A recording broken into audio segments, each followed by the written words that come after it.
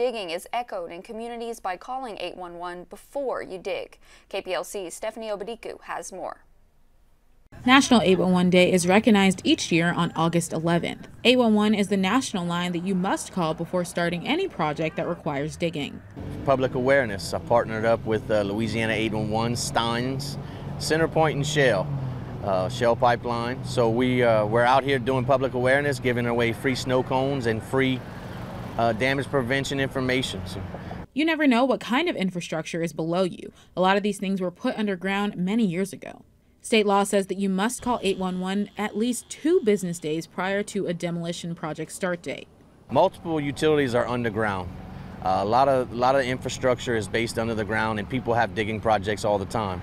Well, when they go to dig, they can end up in one of those infrastructures, and it could cause damage to the infrastructure making an outage or it's a safety hazard. Billy Forrest, the Louisiana 811 damage coordinator, says that it's a simple process that cannot be overlooked. Getting the ground checked before digging is a requirement by law.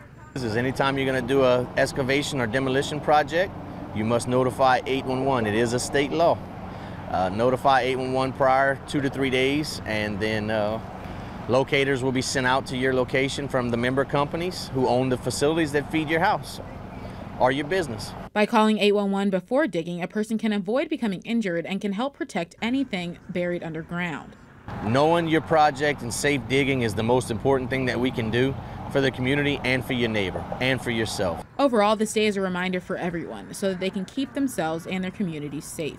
In Lake Charles, Stephanie Obadiku, 7 News. Experts say that even if you are planning on digging just a few inches into the ground, you should still contact 811 just in case. World War II veteran and Lake Charles businessman Joe Stoma has died at the age of 99. In 1942, Stoma enlisted in the U.S. Navy, deploying to the Pacific Theater of Operations during World War II as a navigator's mate on the USS Laws.